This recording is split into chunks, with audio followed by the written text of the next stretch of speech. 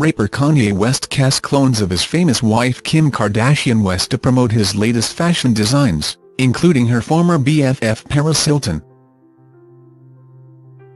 Paris, 36, dressed up as Kim for the street shoot to promote the new Yeezy season, slang in the street shoot.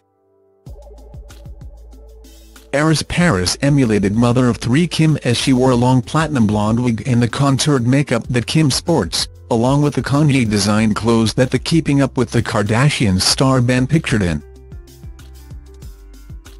Kim unveiled the shots to her account, praising her former employer as she called Paris the Og also known as Original Gangster.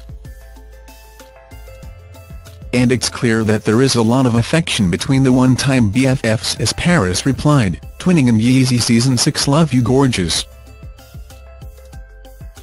Kim used to be employed as a stylist and closet organizer for Paris in the early 2000s and even appeared on her show, The Simple Life.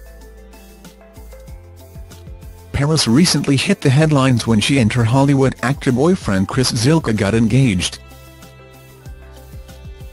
The Hilton heiress shared the romantic moment on her account of when Chris got down on one knee and presented her with a box containing her huge engagement ring.